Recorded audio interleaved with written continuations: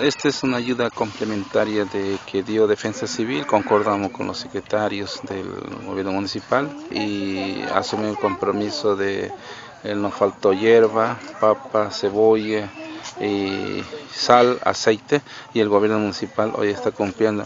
Con esto estamos totalmente contentos y el alcalde digamos está cumpliendo digamos con los compromisos que ha asumido. Este producto que ha llegado yo creo que va a ayudar digamos a que la alimentación esté completa. Muy agradecido también por estos alimentos que hemos recibido para paliar a estas familias. Aproximadamente 15 familias que hemos sufrido daños y perjuicios de, del desastre del, río. El alimento que recibimos nos sirve casi para paliar la situación de, de nuestras necesidades.